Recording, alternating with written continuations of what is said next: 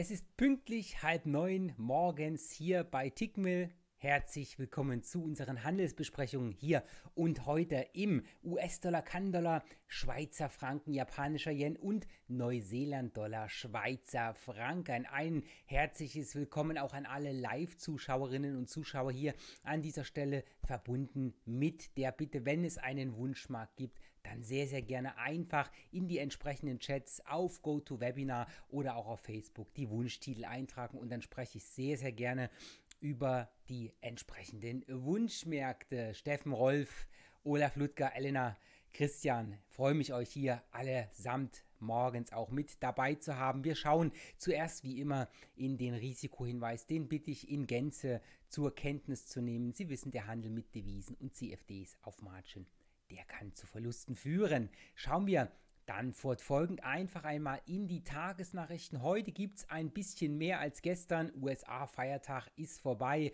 Auf der Nachrichtenseite heute ein bisschen was aus Großbritannien, aus der Eurozone äh, und einen kleinen, kleinen Tropfen aus den USA. Was bekommen wir heute am Morgen aus den britischen Nachrichten? Wir bekommen um 10.30 Uhr das Durchschnittseinkommen inklusive Bonuszahlung und die Arbeitslosen Änderung für den Januar. Wir wissen, dass Großbritannien Thema Brexit, da schauen wir so ein bisschen drauf, aber momentan hält das die Märkte relativ ruhig. Lutz, einen schönen guten Morgen. Was gibt es weiter? Wir bekommen aus Deutschland sehr, sehr wichtige Wirtschaftsnachrichten. Der ZEW Konjunkturindex mit allem drum und dran gibt es um 11 Uhr. Was gibt es noch? Wir bekommen dann im Laufe des Nachmittags noch zwei Reden von äh, der FOMC, beziehungsweise eine Rede vom FOMC-Mitglied und eine Rede vom EZB-Rat Brät. Das heißt hier ein paar kleine Nachrichten um die Zentralbanken. Ob das was wird, das weiß ich nicht, aber es ist auf alle Fälle immer gut zu wissen, wann jemand von einer Zentralbank spricht denn das könnte unter Umständen für ordentlich Bewegung sorgen. Dann schauen wir doch einfach mal in unsere Handelsideen für den heutigen Tag auch mit hinein. Hier haben wir auf der Uhr noch den Silberchart von gestern. Da hatten wir ja äh, die Handelsidee, wenn sich die Stunde nach oben hin fortsetzt äh, und wir hier oben über dieses kleine Level drüber laufen, das könnte sehr, sehr positiv sein. Stimmung nach oben weiter schieben. Noch ist hier nichts passiert. Meine Order liegt auch weiterhin äh, im Handels Handelssystem äh, mit drinnen. Handelssystem ist jetzt nicht das, was wir uns hier jeden Morgen auch anschauen. Da liegen natürlich keine Orders, weil das hier keine Kaufen, Kauf, Verkauf Dinge sind, die wir hier miteinander besprechen, sondern wir sprechen ja hier die einzelnen Chartlagen an sich. Aber beim Silber ist es halt wichtig, um hier einfach edukativ nochmal reinzuschauen. Wenn wir hier mittelfristig in die Long-Richtung investieren wollen, müssen wir ja auch sicherstellen, dass dieser Gesamttrend hier auch irgendwann erledigt ist. Und das haben wir dann natürlich, wenn wir hier oben drüber laufen. Das sehen wir auch in der Stunde, wenn wir hier mal reinschauen und uns den Korrekturtrend mal anschauen, dann sehen wir hier selbstredend die entsprechenden Schwünge hier. Und da müssen wir erst einmal über diese Marke hier oben drüber, weil wenn wir das uns mal anschauen, das, was wir hier sehen, ist sozusagen der große Schwung noch auf Tagesbasis und das ist der Bewegungstrend hier an dieser Stelle. Und der Bewegungstrend ist jetzt erst einmal rausgenommen. An der Stelle, wo wir da gestern standen, ist es für mich aus meinem von meinem Geschmack her einfach zu zu spät gewesen, das hier noch zu traden, aber mit Blick auf die Verortung hier oben, da ist es dann natürlich interessant, wenn der Markt nach oben läuft. Das heißt, wenn der irgendwann aus diesem Stückchen Bewegung nach unten rauskommt nach oben und dann das Ganze hochschiebt, dann sind wir in dem Kontext, den wir hier vorher gehabt haben. Das heißt, dann haben wir hier die erste Bewegung nach oben hin, die sehr, sehr nahe an dieses Hoch hier rangelaufen ist. Und wenn wir dann oben drüber laufen, dann haben wir diesen Kontext hier rausgenommen und das ist dann das, wo das Signal für mich jetzt kommt. Da musst du hinschauen, dort könntest du auf der Long-Richtung etwas an Bewegung mitnehmen. Das also hier für diesen Punkt. Wer das Ganze auch mal eher auf der Uhr hat, der schaut natürlich hier für das kurzfristige Trading auf diese Swings, die wir hier untergeordnet haben. Und da hätte es natürlich Sinn gemacht, hier unten schon reinzugehen, weil hier ist der Trend gebrochen an dieser Stelle. Hier ist sozusagen die Trendentstehung gewesen, hat den Bruch rausgenommen, beziehungsweise den vorhergehenden Trend rausgenommen, hat noch einmal korrigiert und da hätte man sehr, sehr schön, wenn man hier früh dran gewesen wäre, den Markt nach oben traden können, aus den kleinen Zeiteinheiten raus und das Ganze dann Stück für Stück nach oben zu schieben. Das also verschiedene Zeitansätze und die muss man natürlich auch in irgendeiner Art und Weise dann gerecht werden im eigenen Portfolio. Das also hier noch einmal zum Silber und dann gehen wir mal in die Handelsideen für den heutigen Tag auch mit rein. Wir werden jetzt hier entsprechend mal schauen, dass wir mit dem, was haben wir zuerst, Neuseeland, Dollar, Schweizer Franken. Fangen wir mal von unten nach oben an. So, Neuseeland, Dollar, Schweizer Franken, da haben wir das Währungspaar auf der Uhr. Hier, was sehen wir? Wir sehen einen Chart im Tag mit Levels oben drüber, die als Widerstände laufen könnten. So, jetzt haben wir hier die Situation, wo man einfach sagen muss, was ist denn hier aktuell los? Wir sehen ganz klar, dass dieser Trend nach oben hier komplett rausgenommen wurde, aber es gab eine massive Aufwärtsbewegung als Gegenbewegung. Die hat geendet oben irgendwo über den Daumen bei 0,691. Danach gab es den Schub nach unten, Boden gefunden hier in dieser leichten Unterstützung um die 0,673. So, dann ging es wieder hoch und jetzt ist das was Interessantes. Immer hier oben in diesem Bereich um die 0,69 100, da kam latente Schwäche in den Markt, da wurde wieder abverkauft und das ist jetzt interessant zu beobachten. Was passiert hier weiterhin? Wenn sich der Verkaufsdruck hier oben mehrt, dann ist es gut und gerne möglich, dass wir noch ein ganzes Stückchen wieder nach unten laufen. Ob es einen neuen Abwärtstrend gibt, das weiß ich nicht, aber im Kurzfrist-Trading ist das nach unten hin natürlich interessant, ähm, was hier passiert, wann der Markt nach oben dreht, ob er nach oben dreht oder ob wir einfach nach unten laufen. Das wissen wir ja nicht. Aber wenn das Setup hier reinkommt, dann ist hier interessant, mal in die Stunde zu schauen, was die Stunde macht. Die gucken wir uns gleich an. Wir müssen nur hier auf dem Tageschart mal noch gleich auf was anderes schauen, nämlich auf die Oberseite. Weil wenn es doch nicht dazu kommt, dass der Markt jetzt direkt runterdreht, sondern dass hier so eine Art Abwartehaltung ähm, am Markt zu sehen ist und wir dann nach oben stürmen, dann haben wir nicht weit weg vom Punkt über dieser 0,691 den Weg nach oben hin im nächsten Widerstand hier. Da hatten wir das Hoch von dieser starken Aufwärtsbewegung hier, von diesem Trend. Das haben wir liegen bei 0,69390 ungefähr. Und kurz darüber haben wir schon den nächsten Widerstand bei 0,69776 hier im Hoch. Das müssen wir auf der Oberseite auf der Uhr Das wären dann natürlich Level, die können wir im Anlauf sehr, sehr schön mit planen. Wenn wir jetzt hier von unten rauskommen und mit diesen Informationen schauen wir jetzt mal in den Stundenchart hinein und im Stundenchart, da sehen sehen wir sozusagen das, was wir im Tag gerade gesehen haben, hier oben, so diese leichte Schwäche, wenn man sich das Ganze mal anschaut hier, ich zeichne mal kurz den letzten Stück vom Trendverlauf ein, also wir hatten hier die Bewegung nach oben, naja, wir machen das mal jetzt in grün, das sieht dann am Ende ähm, optisch besser aus, weil wir den Kontext zu aufwärts und abwärts haben, so das heißt jetzt hier, das ist Aufwärtstrend gewesen, so, das hier und dann nach oben hin hier rein, nochmal Korrektur gehabt und danach ging es halt nach unten. So, jetzt ist der Trend hier fertig gezeichnet und was kommt jetzt? Jetzt kommt hier sozusagen die Schwäche wirklich rein. Hier gibt es im Kleinen den Abwärtstrend, der hat dann hier dieses Tief rausgenommen und bewegt sich jetzt weiter nach unten. Und das ist halt jetzt wirklich sehr, sehr interessant, wie es weitergeht. Hier unten haben wir eine leichte Unterstützung um diesen Bereich von den 068 äh, 467. Da könnte es hingehen, wenn sich dann weiter nach unten fortsetzt. Das ist dann das Interessante. Dann könnte es sein, dass sich dieser ähm, Trend, der sich jetzt hier nach unten entwickelt, halt noch ein ganzes Stückchen weiter runterschiebt. Und das ist dann die Situation, wo ich sage, jetzt könnte es Sinn machen, dass man einfach mal hinschaut und sagt, jetzt könnten wir nach unten etwas traden. Und da sehen wir halt, das zeige ich gleich auch nochmal, den Weg nach unten hin zum Widerstand bzw. zur Unterstützung. Der Widerstand ist ja oben drauf. Hier wenn diese Linie bricht, ist erst einmal ein ganzes Stückchen nichts. Das könnte dann für fallende Dynamik sorgen. Nächster Anlaufpunkt ist hier vielleicht irgendwo dieses eine Ausbruchsniveau bei 0,67985, beziehungsweise dann unten ran. Hier hat man Korrekturtief, hier hat man Korrekturtief. Das sind natürlich Marken. Da kann man ohne weiteres mal schauen, ob wir hier nicht eventuell Unterstützung finden. Und das ist natürlich dann interessant, wenn wir jetzt von oben anfangen können, rein zu traden. Dann kann man sich relativ eng absichern mit seinen Strategien und hat halt ein ganzes Stückchen Weg nach unten.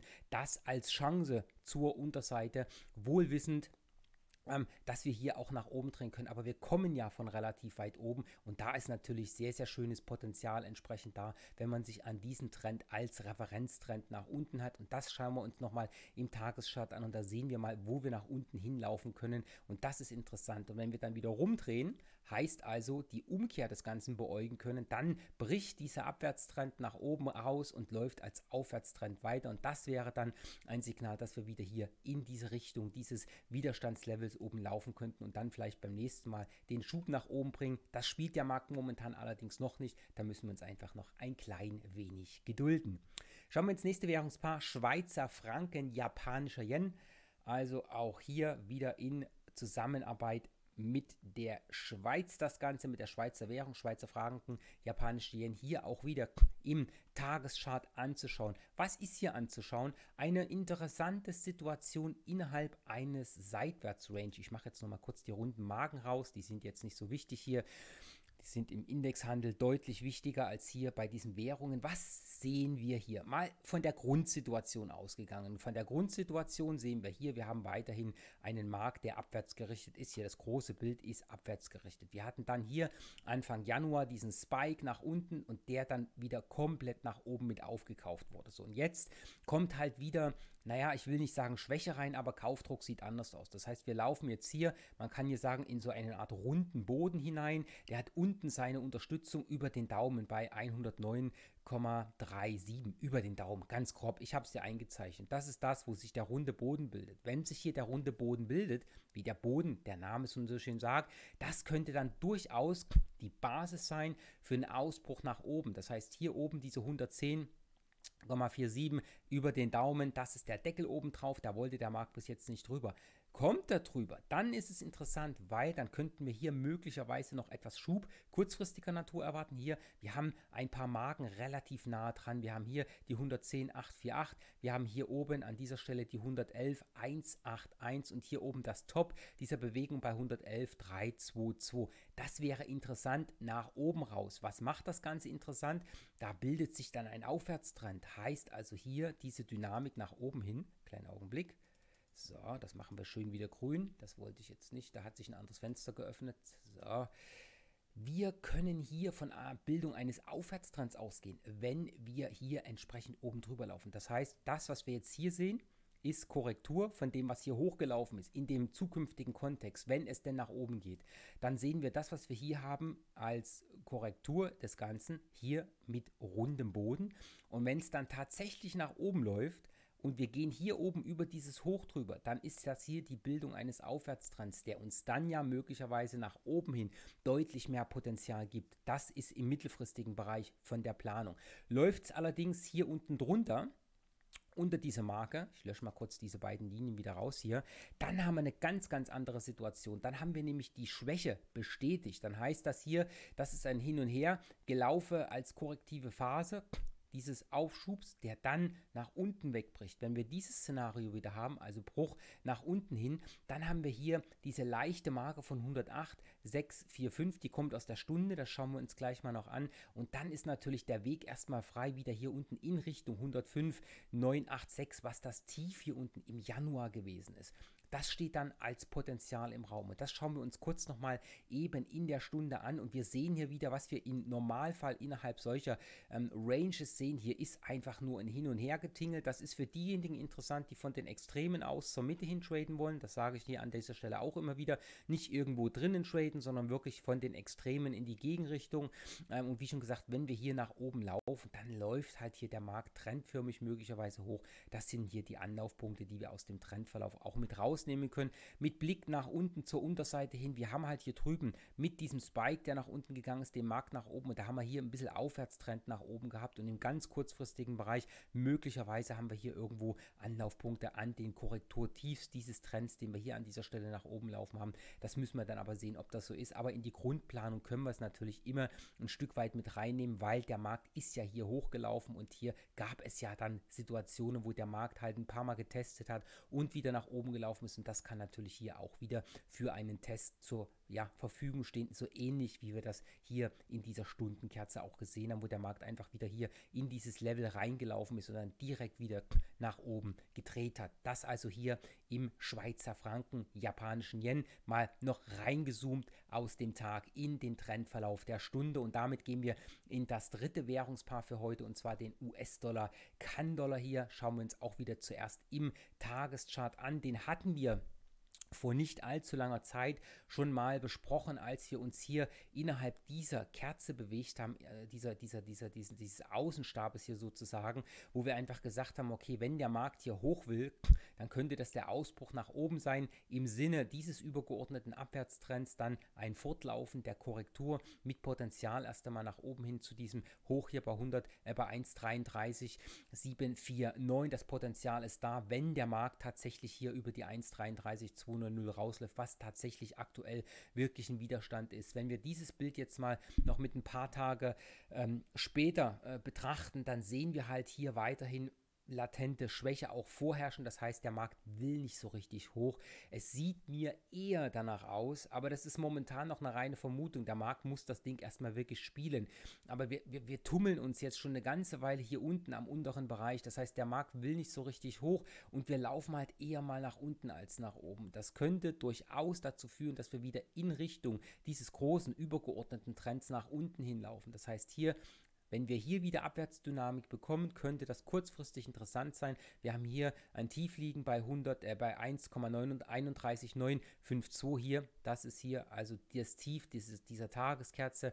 Darunter aus dem Verlauf der Stunde, da gucken wir gleich mal noch rein, sind hier ein paar Anlaufpunkte, die interessant äh, zum Sehen sind. Und dann natürlich das Trendtief bei 1,30685. Das haben wir hier unten liegen. Das ist dann als Potenzial erst einmal da, wenn dieser Markt tatsächlich wieder in Richtung dieses übergeordneten geordneten Trends läuft und den möglicherweise auch fortsetzt. Wenn er sich fortsetzt, dann müssen wir auch sehen, was hier drüben noch am Potenzial liegt. Da ist nämlich einiges auf der Unterseite, was der Markt hier an dieser Stelle auch noch abholen kann. Bis dahin ist noch Luft. Momentan spielt der Markt, wie schon gesagt, noch kein Szenario nach unten, aber es kommt kein Druck auf. Und das ist halt interessant, auch für diejenigen, die vielleicht kurzfristig immer mal agieren. Hier am Widerstand, dort wieder die Richtung nach unten zu finden, wenn der Markt es tatsächlich macht. Das muss man mal sehen, aber hier sieht es eher aus, als wenn der Markt wirklich Druck von oben bekommt. So richtig Kauflaune ist hier jetzt noch nicht vorhanden. Das sehen wir auch sehr, sehr schön im Tages-, äh, im Stundentrend, wenn wir den mal kleiner machen hier. Wir haben hier immer wieder so ein bisschen Spike nach oben und danach bietet sich sofort wieder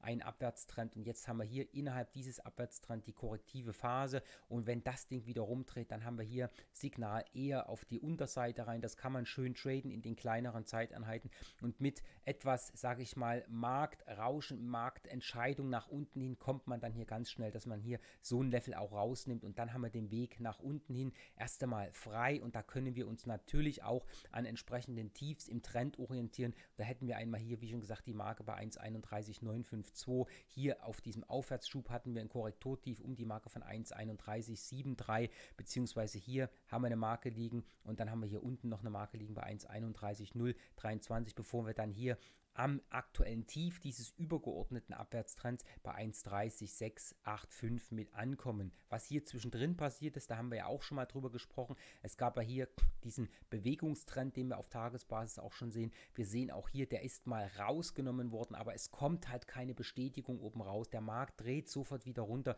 und das ist mir eher ein Zeichen, dass wir noch nicht nach oben wollen, sondern eher die Richtung hier nach unten suchen. Das also die Infos zum US-Dollar, kann-Dollar. Jetzt blicke ich noch einmal kurz in die Charts bzw. die Chats oben hinein. Arnold, good morning. Rolf auch dabei, guten Morgen. Fragen sehe ich an dieser Stelle jetzt nicht. Das heißt, von der Seite her wünsche ich allen einen angenehmen ja, Dienstag, nee, doch, ja, Dienstag, zweiter Tag der Woche. Die Zeit vergeht immer so, da vergisst man öfter mal die Tage. Allen gute Trades und wir lesen morgen wieder im Blog zusammen und alle, die das Ganze hier auch auf dem Kanal von GoToWebinar mitsehen, wenn Sie mögen und nicht immer GoToWebinar zur Hand haben, dann kommen Sie ruhig auf die Facebook-Seite von Tickmill. Da sehen Sie das Ganze im Livestream und können sich das dann auch immer wieder direkt auf der Facebook-Seite von Tickmill anschauen. Im ich wollte sagen, im Videotext suchen. Nein, nicht im Videotext, selbstredend im Internet auf Facebook einfach mal Tickmill Deutsch eingeben und dann kann man hier direkt die Gruppe bzw. die Seite liken und sich unserer Community, unserer wachsenden Community an dieser Stelle auch anschließen. Also an dieser Stelle allen einen schönen Tag und wir hören und sehen uns morgen wieder. Bis dahin allen eine gute Zeit. Tschüss.